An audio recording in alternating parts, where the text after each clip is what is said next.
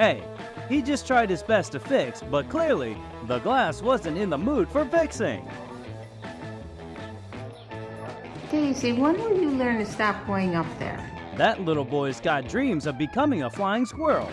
Or at least a fan powered one. All right, I'm gonna come save you.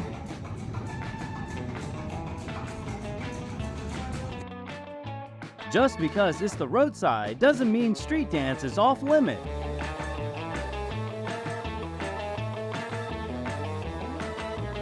Halloween's not even here, and he's already planning to cosplay as Merlion Fountain.